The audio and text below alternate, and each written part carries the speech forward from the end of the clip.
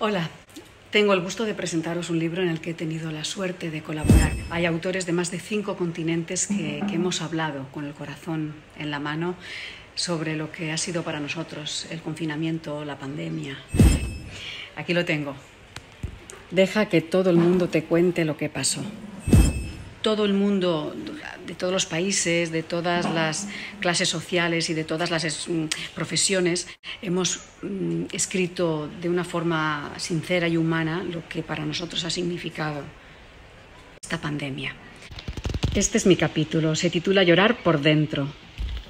Y como cosa curiosa, hablo de Víctor Clavijo y de Miguel Ángel Martín, Tú no mandas, que son dos actores que nos han hecho muy felices a los españoles durante este confinamiento.